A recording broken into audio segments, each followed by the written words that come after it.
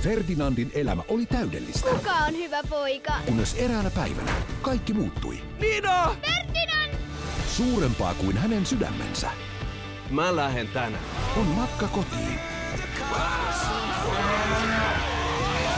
Kaviot taivasta kohti eikä pääse ylös! Ferdinand,